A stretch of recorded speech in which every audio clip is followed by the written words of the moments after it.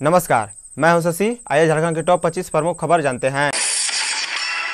शहीद निर्मल महतो के दिखाए रास्ते पर चलकर झारखंड का विकास किया जा सकता है, मुख्यमंत्री। मुख्यमंत्री हेमंत सोरेन ने कहा कि आज का दिन झारखंड वासियों के लिए बेहद खास है। झारखंड अलग राज्य आंदोलन में शहादत देने वाले वीर शहीद निर्मल महतो को उनकी जयंती पर हम याद कर रहे हैं।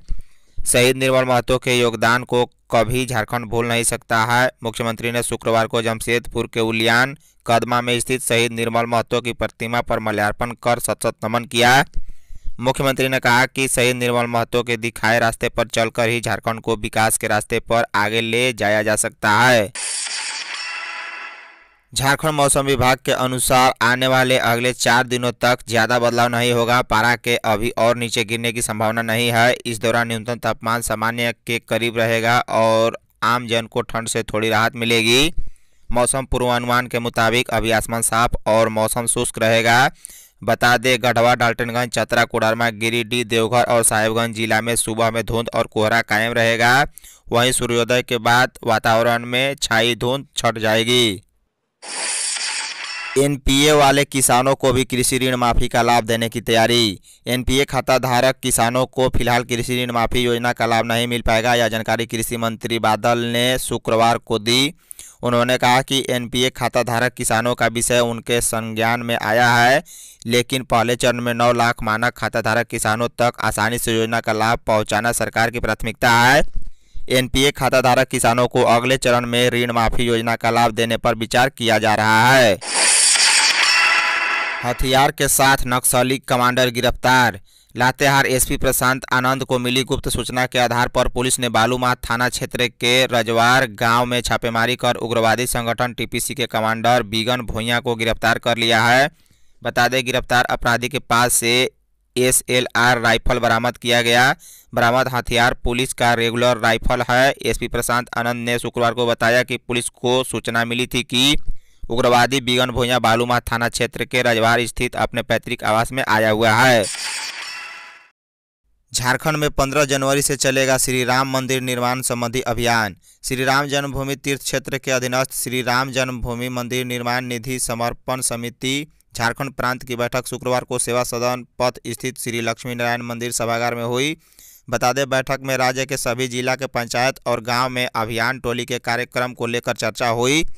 यह तय किया गया कि अभियान 15 जनवरी से 27 फरवरी तक चलाया जाएगा। झारखंड के शिक्षा मंत्री जल्द लौटेंगे घर, अपने हाथों से खाना खाया। झारखंड के शिक्षा मंत्री जगन्नाथ महतो जल्द ही अपने घर लौटेंगे। उम्मीद है कि तीन जनवरी तक वह झारखंड लौट आएँगे। बता दें, चेन्नई के एमजीएम अस्पताल में उन्नीस अक्टूबर से इलाज करा रहे हैं और अब उनकी सेहत में तेज़ी से सुधार हो रही है। बता दें कि लंग्स ट्रांसप्लांट के बाद गुरुवार दोपहर पहली बार अपने हाथों से खाना खाया। उनके बेटे अखिलेश महतो ने बताया कि बेड पर बैठे बैठे उन्होंने भोजन किया। किसानों की पहचान मिटाने की कोशिश कर रही केंद्र सरकार हेमंत सोरेन।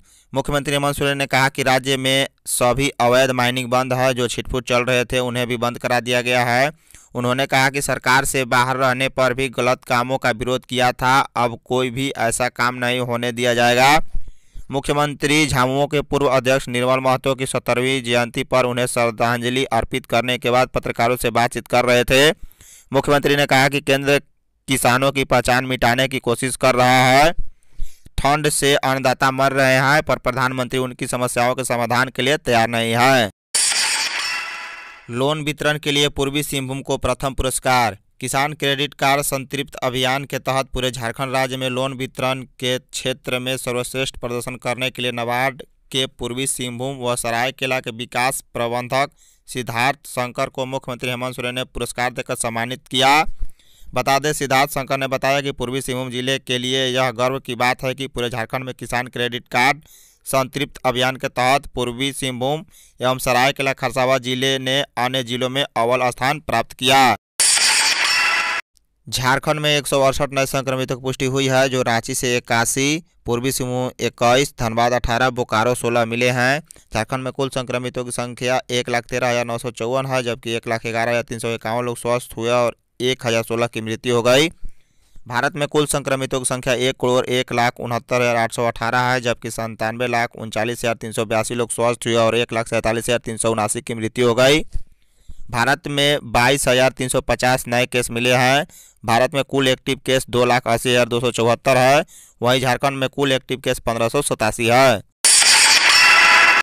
पशु तस्करों के खिलाफ कार्रवाई। झारखंड पुलिस पशु तस्करों के खिलाफ लगातार अभियान चलाती रही है। इसी क्रम में शुक्रवार सुबह पलामू ज़िले की पुलिस को पशु तस्करों के खिलाफ अब तक की सबसे बड़ी सफलता मिली है।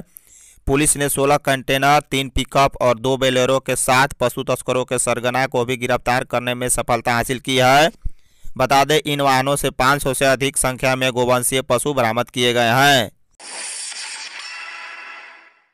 राज्यपाल ने अटल बिहारी की जयंती पर श्रद्धा सुमन अर्पित किया। राज्यपाल द्रौपदी मुर्मू ने शुक्रवार को राजभवन के दरबार हॉल में पूर्व प्रधानमंत्री भारत रत्न अटल बिहारी वाजपेयी की जयंती के अवसर पर उनके चित्र पर माल्यार्पण कर श्रद्धा सुमन अर्पित किया। राज्यपाल ने राज्य के समस्त नागरिकों को क्रिसमस की हार्दिक बधाई व शुभकामनाएँ भी दी। अनिश्चितकालीन धरने पर बैठे अभ्यर्थी ठंड में ठिठुर रहे और सरकार सालगिरह के जश्न में भाजपा। भाजपा के प्रदेश प्रवक्ता प्रतुल सादेव ने कहा कि एक ओर हेमंत सरकार अपने पहले सालगिरह के अवसर पर समारोह की तैयारी कर रही है, वहीं दूसरी ओर हज़ारों अभ्यर्थी अपने अंतिम मेधा सूची को प्रकाशित करने की मांग को लेकर मोराबादी मैदान में अनिश्चितकालीन धरने पर बैठे हैं और ठंड में ठिठुर रहे हैं। झारखंड के शहरी क्षेत्र में पानी दोगुना महँगा होगा झारखंड के शहरी क्षेत्र में रहने वाले लोगों पर महँगाई की एक और मार पड़ने वाली है। बता दें, राज्य सरकार ने झारखंड जल कार्य, जल अधिभार, जल संयोजन नियमावली 2020 को मंजूरी दे दी है। इसमें नगर निगम क्षेत्र में पेयजल की दर पाँच रुपये प्रति एक हज़ार लीटर को बढ़ाकर नौ रुपये कर दी गई है। इसी तरह नगर परिषद में सात रुपये और नगर पंचायत क्षेत्र में पाँच रुपये की गई है। नौकरी का झांसा देकर नाबालिग को दिल्ली ले जा रही मानव तस्कर गिरफ़्तार। रांची रेलवे पुलिस की सक्रियता से मानव तस्करी की शिकार होने से एक नाबालिग एवं एक महिला बाल बाल बच गई। बता दें, इतना ही नहीं, पुलिस ने महिला मानव तस्कर सुनीता उराइन को भी गिरफ़्तार कर लिया है। महिला मानव तस्कर ने जानकारी दी कि वह उन्हें दिल्ली ले जा रही थी। झारखंड के तीन मजदूरों की मथुरा में संदिग्ध मौत धनबाद के तीन मजदूरों की गुरुवार को मथुरा में संदिग्ध स्थिति में मौत हो गई। बता दें, कतरास के निचितपुर एवं टाटा सिजुआ बारह नंबर के रहने वाले दो सगे भाई और एक रिश्तेदार की मौत की सूचना से क्षेत्र में सनसनी फैल गई। तीनों मथुरा के थाना नवझील इलाके में ईट भट्टा पर मजदूरी करने गए थे। खोरठा भाषा को आठवीं अनुसूची में शामिल करने की मांग। आजसू पार्टी के केंद्रीय महासचिव एवं विधायक लंबोदर महतो ने राज्य सरकार से खोरठा भाषा को भारतीय संविधान की आठवीं अनुसूची में शामिल करने के लिए केंद्र सरकार को प्रस्ताव भेजने की मांग की है। उन्होंने कहा कि इसको लेकर वह सदन से लेकर सड़क तक मुखर बने रहेंगे। उन्होंने कहा कि हम सबको खोटा भाषा के विकास एवं संवर्धन के लिए निरंतर काम करने की ज़रूरत है। आठवीं पास बानवे हज़ार बच्चों ने छोड़ा स्कूल। राज्य में आठवीं बोर्ड में पास लगभग बानवे हज़ार विद्यार्थियों ने इस वर्ष स्कूल छोड़ दिया है। यह आठवीं पास बच्चों की कुल संख्या का करीब उन्नीस प्रतिशत है। इसके विभिन्न कारण हो सकते हैं, लेकिन इससे राज्य में मैट्रिक और इंटर में परीक्षार्थियों की संख्या नहीं बढ़ रही है। यह विभाग के लिए चिंताजनक है। बता दें, माध्यमिक कक्षाओं में ड्रॉप आउट कम करने का प्रयास किया जा रहा है, लेकिन इसका असर होता नहीं दिख रहा है। झारखंड पुलिस के अभ्यर्थियों को हटने का आदेश। झारखंड पुलिस के अभ्यर्थी दूसरी सूची जारी करने की मांग को लेकर 26 दिनों से मोराबादी मैदान के समक्ष धरना पर बैठे हैं।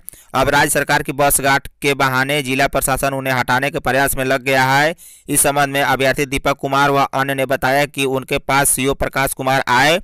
उन्होंने कहा कि 27 दिसंबर को आप लोग हट जाएँ, अन्यथा प्रशासन जबरन हटाएगा। बता दें 30 नवंबर से झारखंड पुलिस के अभ्यर्थी धरना पर बैठे हैं, वहीं 10 दिसंबर से पाँच अभ्यर्थी भूख हड़ताल पर हैं। इस दौरान सरकार ने उनकी सुध नहीं ली। पंचायत चुनाव पर सरकार सोच समझ कर लेगी फैसला, हेमंत सोरेन। मुख्यमंत्री हेमंत सोरेन ने शुक्रवार को बोकारो एयरपोर्ट में कहा कि पंचायत चुनाव के संबंध में राज्य सरकार सोच समझकर कोई निर्णय लेगी। जो भी निर्णय लिया जाएगा, राज्य हित में लिया जाएगा। बता दें, वह बोकारो दौरे पर थे। सीएम श्री सोरेन ने कहा कि राज्य ही नहीं, पूरे विश्व के लिए वर्ष 2020 चुनौतीपूर्ण रहा है। सरकार ने सभी चुनौतियों का सामना करते हुए आम जनजीवन को सामान्य करने का प्रयास किया है। एक भी वादा नहीं हुआ, पूरा युवाओं को नहीं मिला रोज़गार, रघुबर दास भाजपा के राष्ट्रीय उपाध्यक्ष झारखंड के पूर्व सीएम रघुवर दास ने हेमंत सरकार पर जमकर निशाना साधा। जमशेदपुर स्थित बोडाम के कमलपुर अंतर्गत बाड़ा सुसनी हॉट मैदान में किसान चौपाल को संबोधित करते हुए श्री दास ने कहा कि भ्रम फैलाकर सत्ता हासिल करने वाली हेमंत सरकार ने एक साल में 50 युवाओं को भी रोज़गार नहीं दिया, जबकि सत्ता हासिल करने के पहले पाँच लाख युवाओं को रोज़गार देने की बात कही थी। धन्यवाद। यदि आप चैनल पर नए हो तो चैनल को सब्सक्राइब कर, बॉल का बेल आइकन दबाइए, साथ साथ वीडियो को एक लाइक कर अपने दोस्तों के साथ शेयर करना ना भूले साथ ही साथ आप हमें कमेंट बॉक्स में अपना फीडबैक अवश्य दें। Thank you.